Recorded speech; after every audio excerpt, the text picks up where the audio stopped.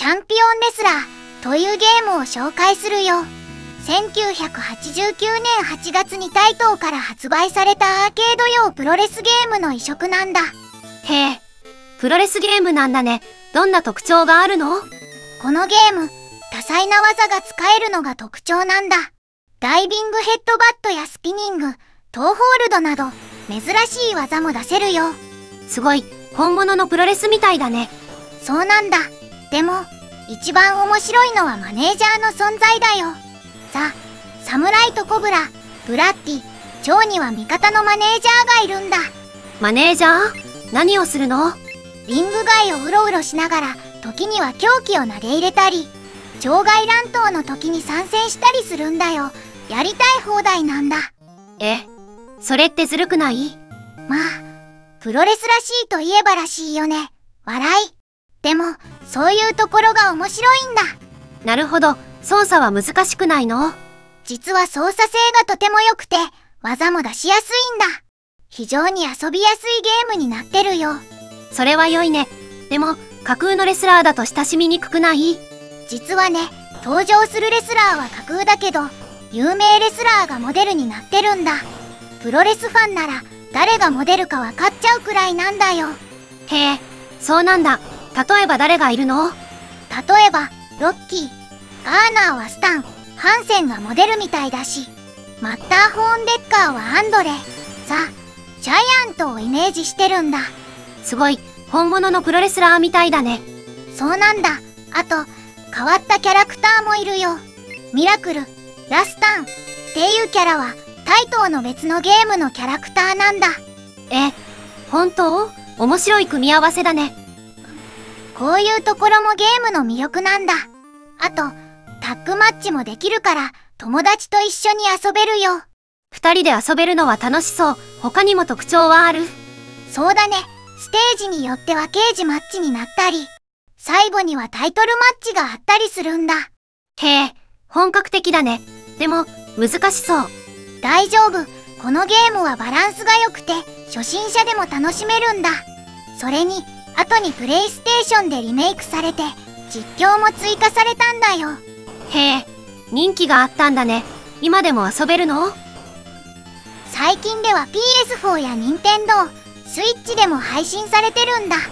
プロレスファンはもちろん、格闘ゲーム好きにもおすすめだよ。わかった。私も一度プレイしてみたいな。プロレスの魅力が詰まってそう。そうだね。きっと楽しめると思うよ。リングの上で君だけの必殺技を決めてみてね。ワールドジョッキーというゲームを紹介するよ。このゲーム、もともとファミコンで発売されたファミリージョッキーを元にしてるんだ。へえ、競馬のゲームなんだね。でも、タイトルからファミリーが消えてるよ。そうなんだ。PC エンジン版だからか、ちょっと大人向けになったのかもね。でも、グラフィックも BGM もファミコン版よりずっと良くなってるんだよ。へえ、PC エンジンってすごいんだね。どんなモードがあるの？いくつかのモードがあるんだ。まず、お気に入りの馬を選んで16レースを競う、オンリーレースゲームがあるよ。それから、騎士としてレースに出ながら馬券も買える、ファミリーゲームモードもあるんだ。へえ、本物の競馬みたいだね。他にはどんなモードがあるの？PC エンジン版の特徴的なモードがジョッキーモードなんだ。このモードではプレイヤーが騎手になっていろんな馬に乗ってレースにチャレンジするんだよ。わあ、いろんな馬に乗れるんだ。それは面白そう。そうなんだ。それに、このゲームの大きな特徴がもう一つあるんだ。マルチタッグを使えば、なんと4人同時にプレイできるんだよ。え、4人も？みんなで遊べるのは楽しそうだね。友達と一緒に競争するのは本当に面白いよ。でも、このゲーム、実は結構意欲的な作品なんだ。意欲的？どういうこと？競馬って本来は大人の遊びだよね。でも、このゲームは子供向けのゲーム機で遊べるようにしたんだ。大人の世界を子供にもわかりやすく落とし込んだんだよ。へえ、そういう工夫があったんだね。そうなんだ。このゲームは、後のダービースタリオンシリーズなどにも影響を与えたんだよ。競馬ゲームの歴史の中でも重要な作品なんだ。すごいね。でも、子供向けのゲームで馬券を買うのって大丈夫なの？確かにその心配はあるね。でも、このゲームでは教育的な要素も入ってるんだ。馬の調子や騎手の技術、コースの特徴など、いろんなことを考えながらプレイするから、戦略的な思考が身につくんだよ。なるほど。ただの賭けじゃなくて、しっかり考えるゲームなんだね。そうそう。それに、実際のお金を使うわけじゃないから、安全に競馬の面白さを体験できるんだ。レースの臨場感や、馬を育てる楽しさを味わえるのが、このゲームの魅力だよ。へえ、競馬のことがよくわかりそう。私もやってみたいな。きっと楽しめると思うよ。友達と一緒に遊べば、もっと盛り上がるかもね。君だけの名馬を見つけて、優勝を目指してみてね。スーパーバレーボールというゲームを紹介するよ。これはヒューカードで発売されたバレーボールゲームなんだ。へえ、バレーボールのゲームなんだね。どんな特徴があるの？このゲームの最大の特徴は、なんといってもサイドビューなんだ。つまり、コートを真横から見る視点になってるんだよ。え、珍しいね。普通のバレーボールゲームとは違うの？そうなんだ。普通のバレーボールゲームはクォータービューって言って、斜め上から見下ろす視点が多いんだ。へえ、なんでサイドビューにしたんだろう？サイドビューだと、ボールの高さがはっきりわかるからね。普通の視点だと高さと奥行きが混ざっちゃって、初心者には難しいんだ。なるほど、初心者でも遊びやすいってことかな？そうそう、ボールを左右に動いて追いかけるだけで、あとはタイミングさえ合えばいいんだ。それに、選手の動きもすごくリアルなんだよ。へえ、本物のバレーボールみたいなんだね。特に選手が一瞬空中で止まるような動きがよく再現されてるんだ。グラフィックも当時としてはかなり綺麗で、アーケード版とほとんど変わらないくらいなんだよ。すごい。でも、難しくないの？基本的にはタイミングの勝負なんだ。うまくタイミングを合わせると強烈なスパイクが打てるよ。でも、相手も読みやすくなるから、時々速攻や時間差攻撃を使うのがコツなんだ。なるほど、奥が深そう。他に特徴はあるの？そうだね。このゲームは当時の有名選手をモデルにしたキャラクターが出てくるんだ。顔グラフィックがかなり似てるから、バレーボールファンにはたまらない作品だったんだよ。へえ、本物の選手が出てくるんだ。でも、バレーボールを知らない人にはわかりにくくないそこがちょっと難点かもしれないね。あまりにもリアルすぎて。バレーボールをよく知らない人には誰が誰だかわからないかもしれないんだ。なるほど。でも、バレーボールファンにはすごく嬉しいゲームなんだね。そうなんだ。ただ、ちょっと地味すぎるって意見もあるんだよ。例えば、選手ごとの必殺技みたいなのがあれば、もっと面白かったかもしれないね。確かに、派手な技があると楽しそう。でもね、このゲームはバレーボールの基本をしっかり再現してるんだ。リアルなバレーボールの面白さを味わえる、貴重なゲームなんだよ。へえ、本格的なバレーボールが楽しめるんだね。私もやってみたいな。うん。きっと楽しめると思うよ。特に友達と対戦すると盛り上がるよ。君だけの必殺スパイクを決めて、優勝を目指してみてね。ファイヤープロレスリング、コンビネーションタッグというゲームを紹介するよ。これは1989年6月22日にヒューマンから発売されたプロレスゲームなんだ。へえ、プロレスゲームなんだね。どんな特徴があるの？このゲーム、当時のプロレスファンにはたまらない作品だったんだよ。まず、登場するレスラーが実在のプロレスラーをモデルにしてるんだ。え、本物のプロレスラーが出てくるの、うん、名前は違うんだけど、見た目や技を見れば誰がモデルか分かっちゃうくらいなんだ。例えば、ビクトリー、武蔵はアントニオ猪木をモデルにしてるよ。へえ、面白そう。でも、プロレスゲームって難しくない？そうなんだ。でも、このゲームはプロレスらしさをうまく再現してるんだよ。自動で組み合って、そこからボタンとキーの組み合わせで自由に技を繰り出せるんだ。へえ、簡単に技が出せるんだね。でも奥が深いんだ。大技をかけるには相手の体力や部位ごとの耐久力が重要になるんだよ。だから、ただ技を出すだけじゃなくて、駆け引きも必要なんだ。なるほど。テクニカルなゲームなんだね。他にも特徴はあるの？そうだね。このゲームは打撃だけじゃなくて、投げ技や関節技もちゃんと再現してるんだ。当時の格闘ゲームだと、打撃中心になりがちだったけど、このゲームは違うんだよ。へえ、本物のプロレスみたいだね。そうなんだ。あと、レスラーの選択肢も多いんだよ。全部で16のレスラーが登場するんだ。しかも、隠しレスラーまでいるんだよ。ああ、たくさんのレスラーがいるんだね。どんなモードがあるの？シングルマッチ、タッグマッチ、そして 5VS5 のイルミネーションマッチがあるよ。特にイルミネーションマッチは5対5の勝ち抜き団体戦でとても盛り上がるんだ。へえ、いろんな楽しみ方ができそう。でも、難しくない？確かに、最初は難しく感じるかもしれないね。でも、慣れてくると奥深さが分かってくるんだ。体の部位ごとにダメージが蓄積されていくシステムもあって、戦略性が高いんだよ。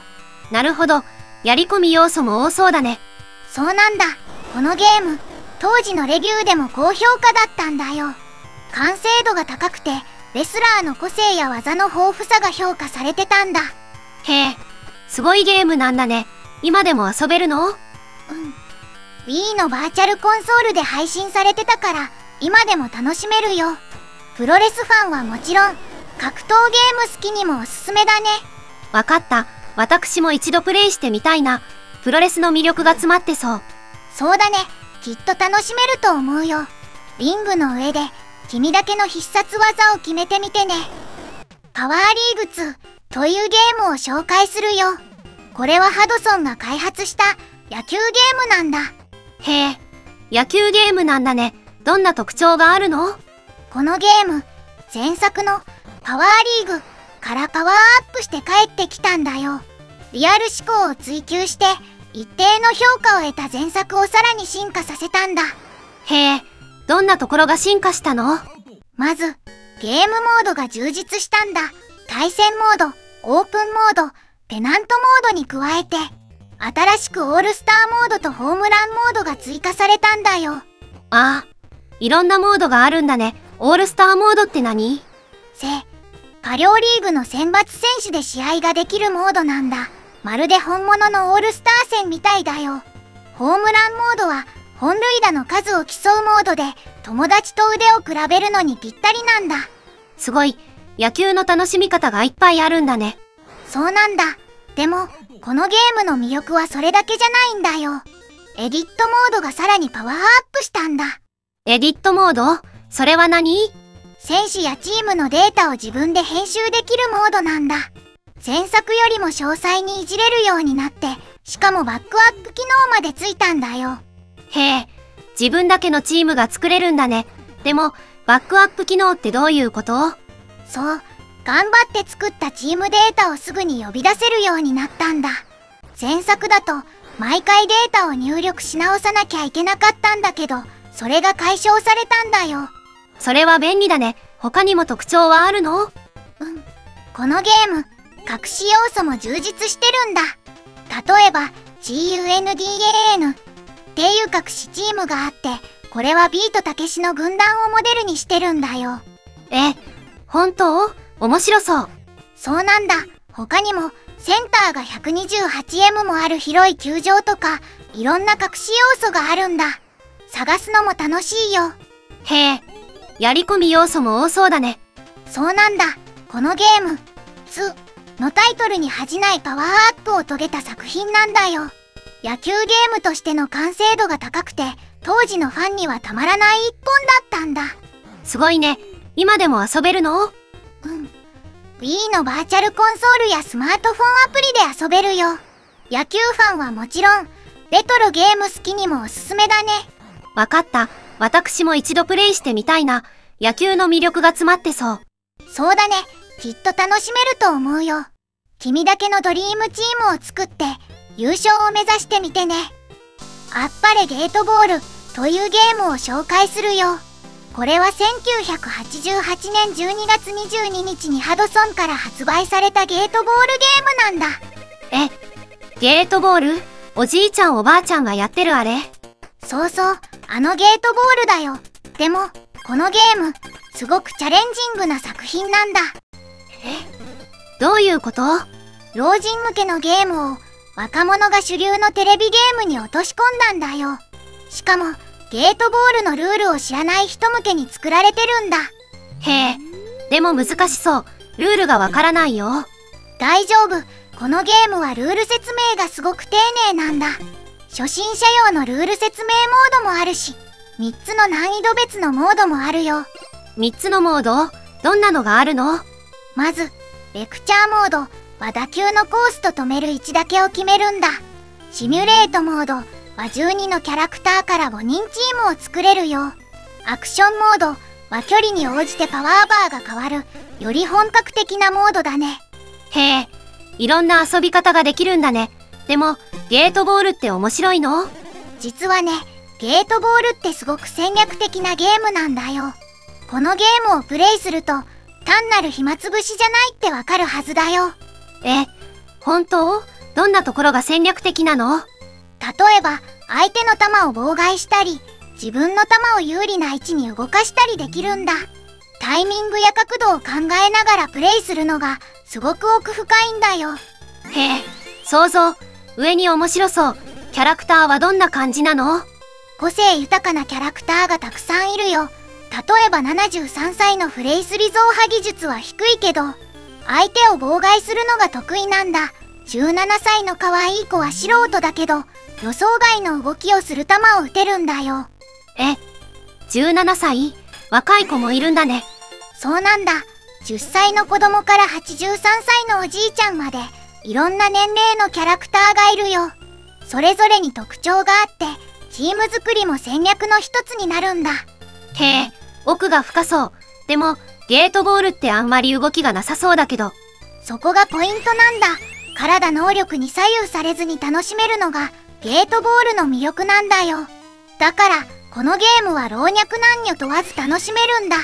なるほど、そういう魅力があったんだね。このゲームをプレイしたら、きっと本物のゲートボールにも挑戦したくなると思うよ。公園でゲートボールをしてる人たちを見かけたら、一緒に遊んでみるのもいいかもね。わあ、面白そう。私も一度プレイしてみたいな。ゲートボールの魅力がわかりそう。そうだね。きっと楽しめると思うよ。君だけの必殺ショットを決めて、チャンピオンを目指してみてね。